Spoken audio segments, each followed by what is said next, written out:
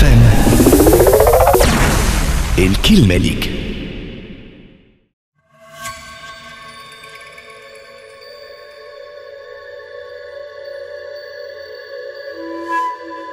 باش نحكيو على حكاية الغابة اللي عمرها أكثر من 3000 سنة. تعديت على برشا حضارات منها العثماني والروماني والقرطاجي وغيرها من الحضارات. الحيوانات اللي في الغابة كانوا عايشين في سلام.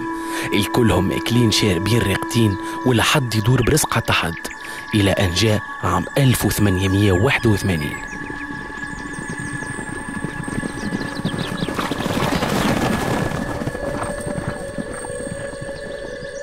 جاء قطيع من البهايم من غابة أخرى ومن بلد آخر. وحبوا يستعمروا غابتنا ويستولعوا على الخيرات اللي فيها وللأسف وصلوا للي حبوا عليه. الحنش في الوقت هذاك كان يحكم في الغابة وما لقى ما يعمل قدام البهايم اللي ظلموا على مملكته. مشى في باله بهايم وما عندهم ما يعملوا يا أخي دخلوا على الزرع رف سهول وما خلاو ما عملوا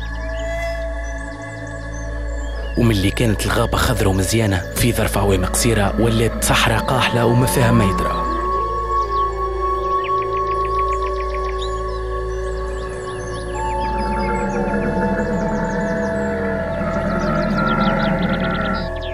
في الوقت اللي احتلوا فيه البهايم الغابة كانوا برشا حيوانات يحاربوا فيهم بالوسائل الكل أملا في إنهم يرجعوا غابتهم كما كانت ويطردوا البهايم لكن فيهم اللي مات وهو يحارب فيهم واللي هرب وفيهم اللي اختفى فجأة وحتى شيء ما تبدل والبهايم ماشيين ويكثروا.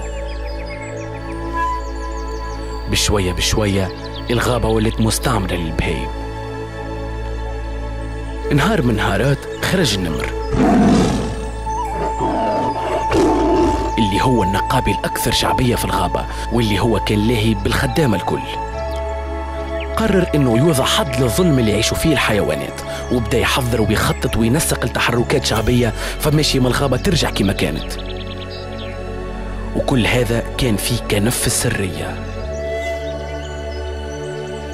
لكن الضباع في الوقت هذاك كان ياخو في ماكلته من عند البهايم وقرر إنه يمشي وينقل الحركات الكل بالباء والتالي تغشوا البهايم برشا وحسوا بالخطر وقرروا باش ينتقموا من النمر.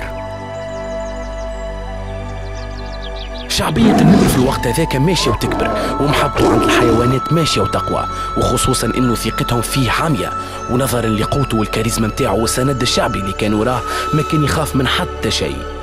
لكن خوف البهايم ماشي ويكثر لازمهم يلقاو معاه حل.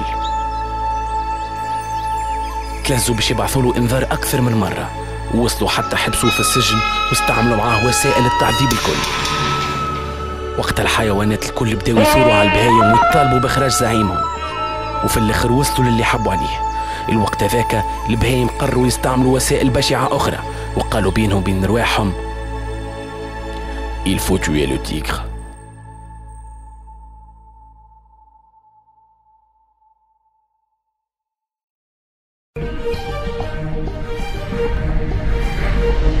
كاب اف ام الكلمة ليك